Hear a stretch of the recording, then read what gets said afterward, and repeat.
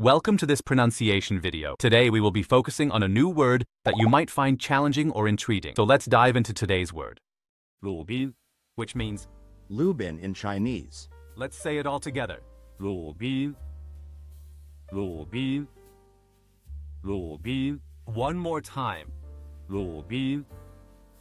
Lubin. Lubin. Thank you for joining us on this adventure in pronunciation. Remember, language is a journey, not a destination. Keep exploring, experimenting, and expanding your linguistic horizons. We'll see you next time.